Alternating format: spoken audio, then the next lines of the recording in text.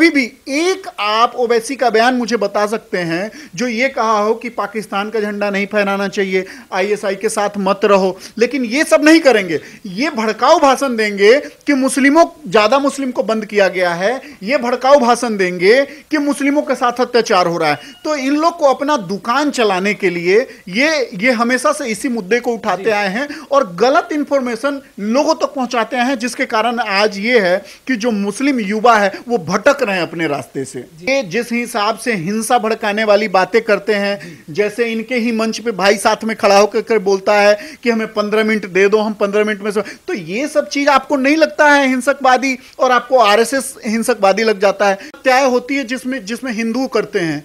कितना लव जिहाद होता है जिसमें आप देखते हैं कि हाँ कोई हिंदू ने अपने बीवी को काट के फेंक दिया, या किसी, कोई हिंदू ने किसी मुस्लिम महिला से शादी की और उसके साथ दुर्व्यवहार किया गया। लेकिन आपको हज़ारों केसेस एक साल के अंदर अंदर में सत्रह हज़ार लव जिहाद को मामला मैटर दिया मतलब अंजाम दिया जाता है और उस सत्रह हज़ार में से एक साल भी शादियाँ नहीं चलती और आधा से ज़्यादा लड़कियों को काट करके फेंक दिया जाता है। उसके बाद मैं बता दूँ कि जितने दंगे होते हैं 99.9 परसेंट मुस्लिम द्वारा किया जाता है। जितनी हत्याएँ होती है, उसमें 99.9 परसेंट मुस्लिम द्वारा किया जाता है। तो क्या वहाँ ज़बरदस्ती हिंदू को उठा के डाल दिया जाए? तो क्या वहाँ की दंगे करने वाले को नहीं क्या वहाँ पे निर्दोष को डाल दिया जाए?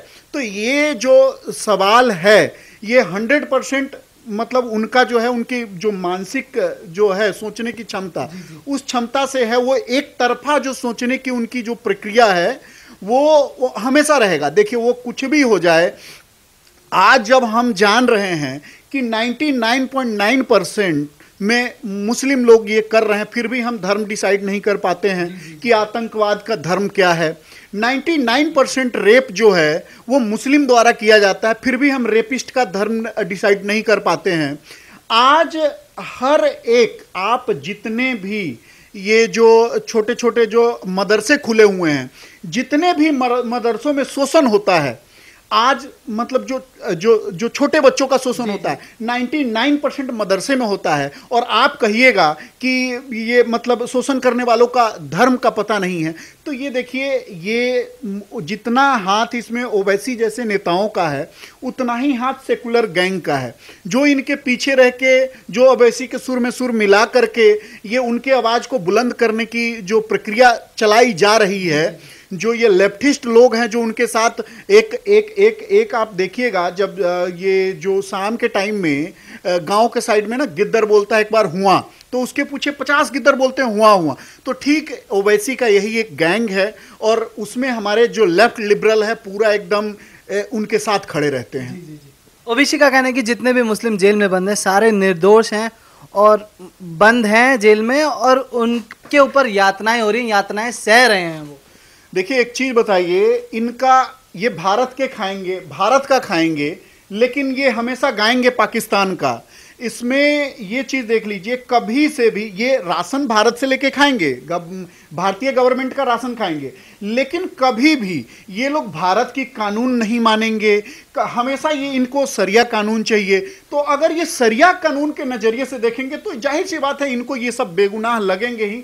जो जेल में बैठे हुए हैं, मैं आपको बता दूँ कि जो इतने, इतना बड़ा एक संविधान है भारत का तो इस संविधान का आप जो फ़ायदे वाली चीज़ है, वो आपको दिखाई देगी।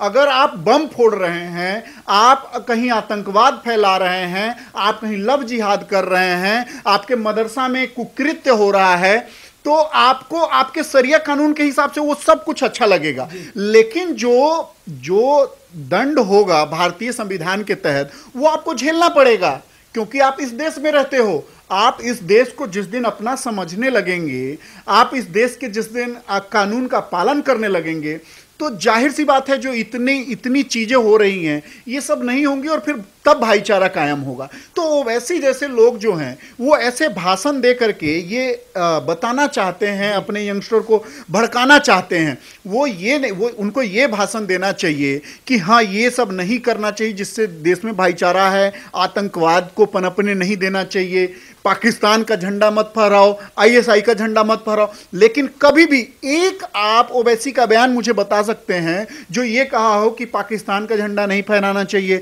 आईएसआई के साथ मत रहो। लेकिन ये सब नहीं करेंगे। ये भड़काऊ भाषण देंगे। सर, एक टाइम ओवैसी बयान देते हैं कि भारत माता की जय बोलना ज़रूरी नहीं है। ठीक है? और एक तो ये बात हो गई, और दूसरा, जैसी किसी मुस्लिम पर अत्याचार होता है तो तुरंत उठ के आ जाते हैं। कुछ भी घटना ऐसी सामने आती है कि मुस्लिम के साथ ऐसा हुआ, उस पर तुरंत उठ के आ जाते हैं।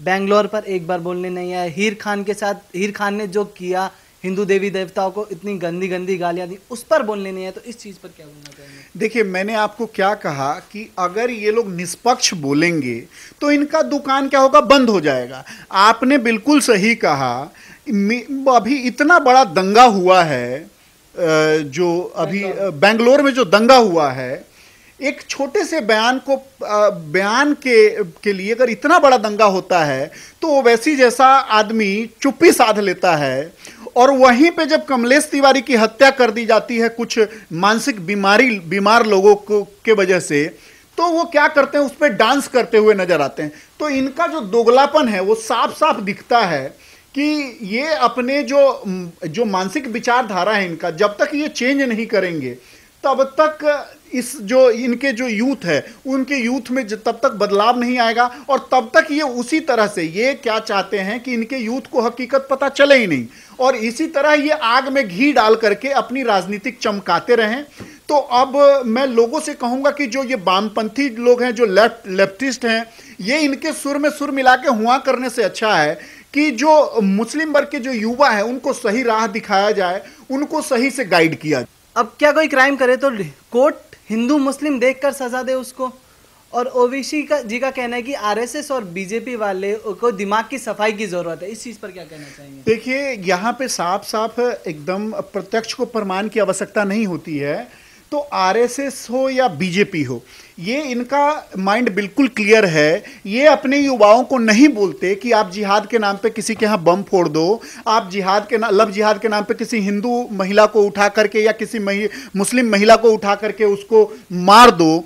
तो ये यहाँ पे जो देखिए आरएसएस के बारे में जितना ये लोग भ्रांतियाँ फैलाते हैं आज तक देखिए हर जगह जहाँ कहीं फ्लोड आता है जहाँ पे जहाँ पे ये सामाजिक कार्य होता है, वहाँ पे आरएसएस पहुँच के काम करता है। लेकिन ये लोग की जो मानसिक जो बीमारी है, मैं कहूँगा ओवैसी जैसे लोगों की तो ये लोग क्या करते हैं कि सिर्फ़ अपना ही गलत मैसेज युवाओं में दे करके गलत काम करवाते हैं।